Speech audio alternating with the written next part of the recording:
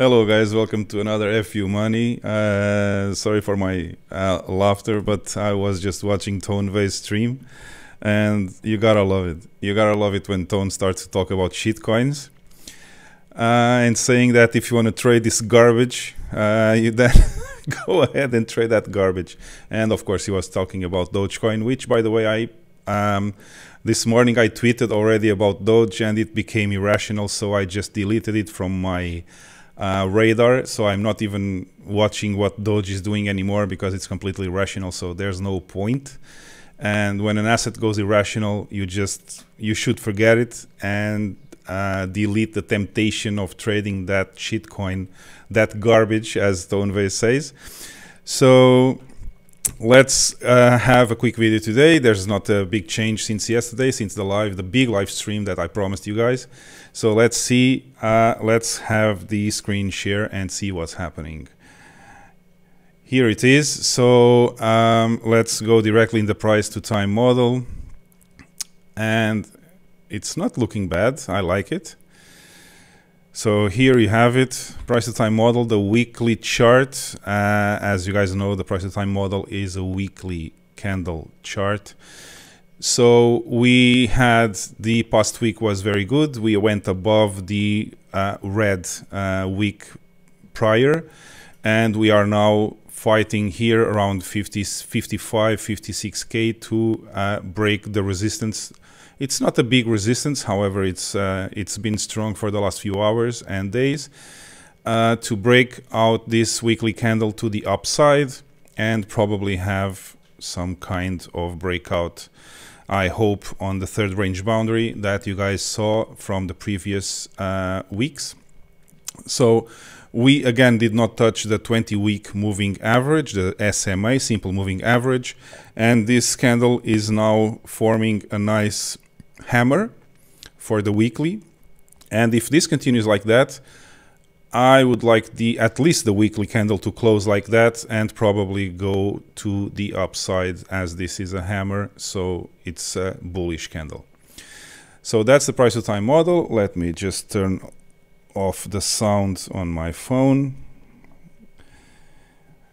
And let's check what's happening here on the MRI. So let's look at the weekly. We had a bit of a surge in the last hour. The this this candle here, the weekly candle was red, but now we have a green candle. And the green candle is now above my trend line.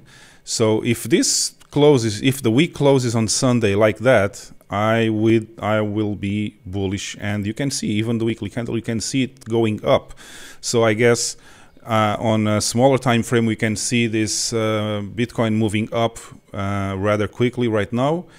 So, but what I like the most is that the weekly candle is again above my trend line. So it's possible that we could see um, some nice movements to the upside. Also, you guys can see, you saw it already on the price to time model, but here on the weekly candle of the MRI strategy, you see that the candles did not touch the 20 week simple moving average. So I would prefer that the, the candles at least touched it back down here around 44k for that week. But now if we touch it, it will be much higher. Uh, this will be around uh, 49 if this is next week. If this is this week, this week we would touch it around 47 and a half. Next week this would be around 49 even. But it looks good. I like the hammer and let's see how this evolves for the weekly. Let's take a look at the oscillators. The RSI is just going sideways. So neutral RSI. The MACD continues to be bearish. We have three red bars and we have the blue line below the orange line. However, the blue line is not as steep as it was before and it's now turning a bit back up although it's still going uh, downwards but let's see what happens on the weekly after the weekly close on Sunday. Uh, so let's take a look at the daily chart. The daily chart looks good. So on the weekly this was above the trend line but on the daily it's still trying to break the trend line, as you guys can see here. However, this day was very good as compared to yesterday because we did not close, well, we opened the candle just a bit below, just a hair below the previous day. And usually that's uh, not very good when it opens or much lower than the close of the previous day. But however, we regained all the same length of the prior candle. So we are now above the opening of yesterday. So that's a good sign. Also, we are breaking above the moving averages, as you guys see here. The red is the 100 day, the yellow is the 50 day, and the green is the 20 day. And we are now trading above all those moving averages, just trying to break this uh, trend line that I draw a long time ago. Also, uh, the MRI is telling me that this is a red 4 for the week, so we might have just had a 1 to 4 candle correction on the weekly chart, and probably we could see a reversal of the price action here. So we also had an MRI uh, warning three days ago, or two days ago, if you don't count this one. And if the candle that started here, this red candle, had not been below all these um, candles, this would have been a 9 green with an MRI top, which in my opinion would have been much worse than it is now. So that's also one of my um, opinions about this great recovery we had today. And we are still trading above the prior candle opening, the red candle there. So uh, the volume continues to go sideways, not going up or down. So the volume is stable. The RSI is pointing back up again after yesterday's pointing down. And the MACD is on the daily is bullish. I'm also bullish on the daily as long as we are able to break at least the trend line, the white trend line you guys see over there. So the MACD we have a few green bars. We had yesterday, it turned out to be a light green because of that big drop. But now we are on the green again. So the bar for today is green. The blue line above the orange. This is going slightly sideways, but pointing up. And if we continue like this and break the trend line, the MACD will become very bullish on the daily chart. So let's take a look at the four hour. Wow, the four hour, as I said, I was watching the weekly candle and it was crazy because I saw it going up really fast on the weekly. So here it is. This just started. Let me check for the one hour. This started recently. Yep. So the past hour and this hour now just went crazy with the support of the 50 period moving average, the yellow line. So it went back down and then got support here and it had this breakout. However, I don't like on the hourly, I don't like this MRI top. So let's see how this, um, how this fast movement of the price action to the upside is going to turn out on the hourly, but let's go back to the four hour and check it by order. So you guys see the MRI again. We had the 9 MRI buy. So the MRI buy is right there. Maybe you just don't see it so well, but it's here. The green arrow, the number one, the two, three. So this is the three of nine. um, the three of nine green count. The three candle, the number three candle had this big surge to the upside, broke all the moving averages. That's a good sign, especially if you count that the previous candle was a buy signal with the green star. So on the four hour, it looks very, very, very bullish. Let's see what happens and if we are at least able to break this trend line to the upside. And then we have the first resistance, the real resistance around 58K again, which was what sent us back down twice when we reached this top and that top. Uh, we have been having uh, a few nice uh, volume um, green bars here on the down uh, part of the chart and the RSI completely pointing up because of that surge, which is a very good sign that people are again were just waiting for this uh, this um, local bottom here to start buying again the dip, and it looks very good on the four-hour chart. it looks so good that even on the 4 hour chart the MACD was completely bearish but now we have been seeing the light red bars uh, decreasing back to zero and the blue line pointing up like crazy just going to surpass the orange line on the next candle if we continue this surge to the upside however don't forget on the hourly we have an mri top so we might see some um, stopping of this uh, surge to the upside at least for one, two, three hours and let's see how it continues later on. So on the 4 hour we can also check the BitMEX funding rate.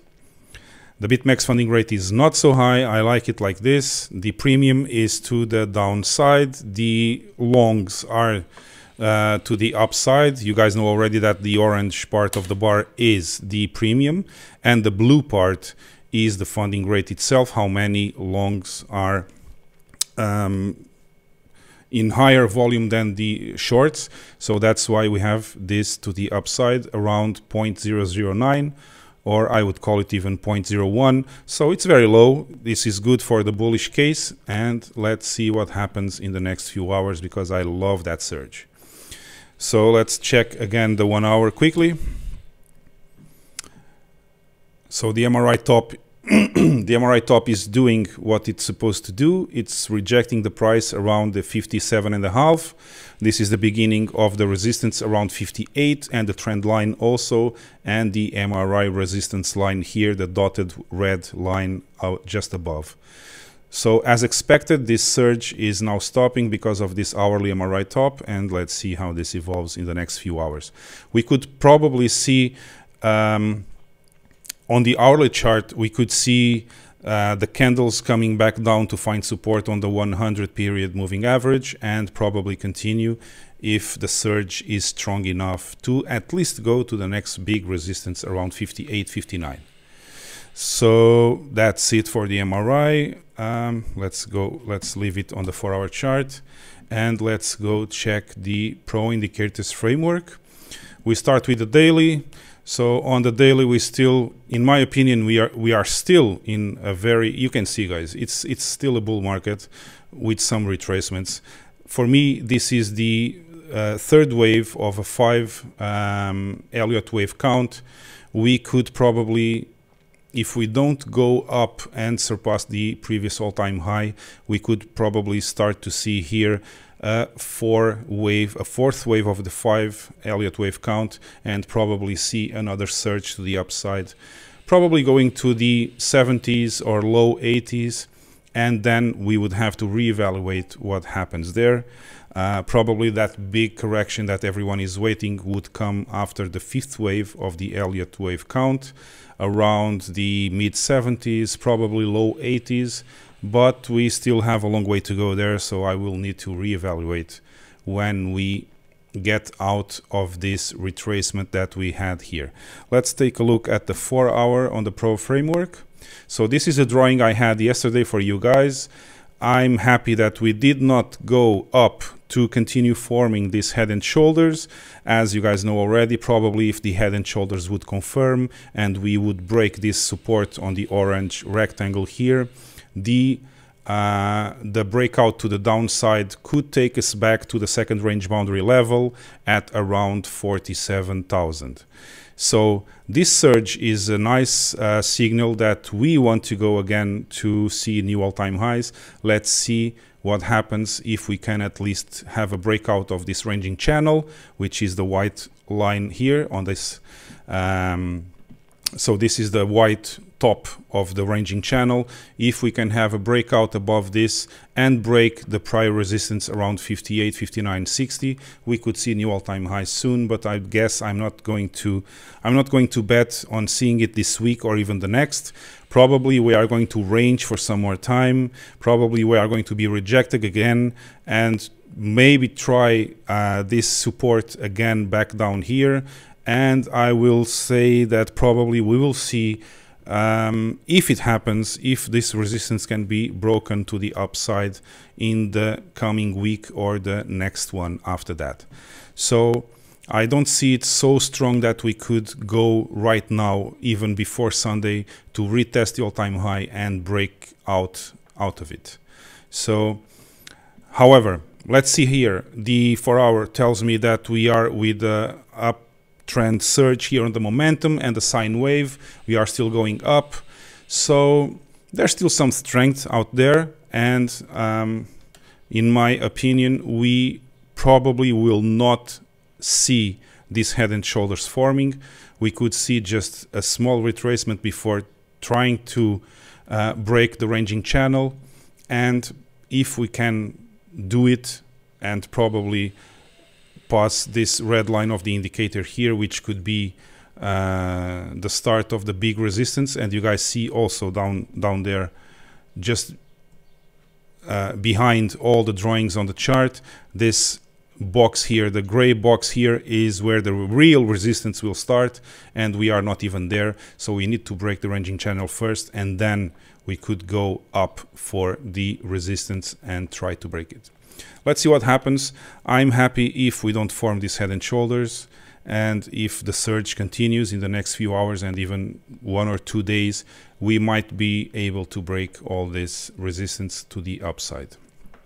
However, if we still cannot do it and the MRI on the hourly is very strong, sending Bitcoin price action back down, um, we might still see some trouble around here. Uh, and I will not delete this head and shoulders that I drew yesterday right now. I will leave it there for some time. And the arrow of the possible breakout of the support to the downside, I will leave it there just as a warning because people should remember that we are always uh, measuring probabilities. And although I think the probability now to go to the upside, if we can break that ranging channel, is higher, we still have a lower probability of continuing forming these head and shoulders. So let's see how this evolves in the next few hours and days, at least until the close of the week on Sunday, and then uh, we can reevaluate on Monday how this all looks um, and let's see how it goes. Okay, for me today it's the it's the analysis I have for you guys today. Let's stop the screen share. Uh, so let me see if I had anything I need to. So, just before you guys uh, forget it, or so that you guys don't forget it, we will resume the live streams on Saturday. This will be always around 5 p.m. If there is any kind of change on the hour of the live stream on Saturdays, I will tell you guys in advance. But probably we will continue around 5 p.m. on Saturdays. And so don't forget that for the next Saturday, uh, three days from now. And I will continue resuming the shorter analysis during the week at during the afternoon. So anytime you will see the video uploaded to YouTube, that's the time that you will see it. Okay, so I'm still uh, I'm still remembering uh, I'm still with what Tone said in my head in the previous video I watched today, his live stream of today, saying that garbage and that uh, shitcoin called Dogecoin. Don't forget that's become irrational. So be careful if you are trading uh, Doge. Um, we are.